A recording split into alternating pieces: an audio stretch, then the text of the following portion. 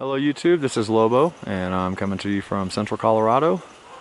We're here in an undisclosed location doing some mineral prospecting. Uh, found a creek that's got a couple of creeks that feed into it. Looks like a good place to kind of kind of farting around and see if they got any gold here.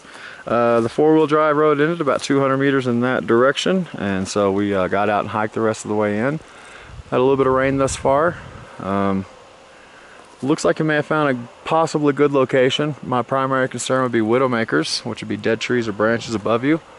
Don't want those to wind to pick those up and for them to fall on you. Uh, people actually do die from that, like that guy right there. Ooh. There is a fire pit that has been constructed, but it's got uh, spent bullet casings in it. Uh, I've been digging those out of that, and uh, I'm afraid there might be actually an unshot bullet or an un, a regular bullet, whatever the hell it's called, don't want a lot of fire and get shot in the face, so we're going to pick a different location to uh, start the fire. Right now we need to deal with the rule of three.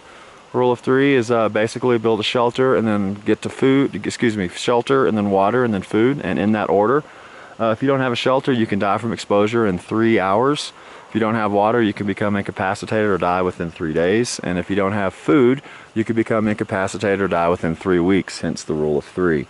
Now I'm kind of checking it out and I'm thinking this is a good location. But, I don't know. I have to do a further investigation here. Where'd it go? I'm in the middle of a strawberry patch. It's probably not a good idea to be in the middle of a strawberry patch. But they're just starting to come out. Hmm. I'll have to make a decision on that one. Right here. There we go. A little strawberry patch. And that's neat and all, but we're also in bear country. So. All right, well, we'll, uh, we'll do some further investigation of the area and uh, we'll get things set up and uh, hopefully I'll check back in with you before nightfall. If not, I'll see y'all tomorrow. Hey, YouTube, uh, pretty much got camp set up. This is not an optimal campsite location. We're kind of down in a little bit of a ravine here. Uh, we're not expecting rain for the next couple of days and uh, if we do start to get the rain, get rain it becomes a problem, uh, we have a little bit of higher ground we can kind of camp on primarily the reason I decided to come down here is pretty much starting right here and going back past where the pups are at is a strawberry patch.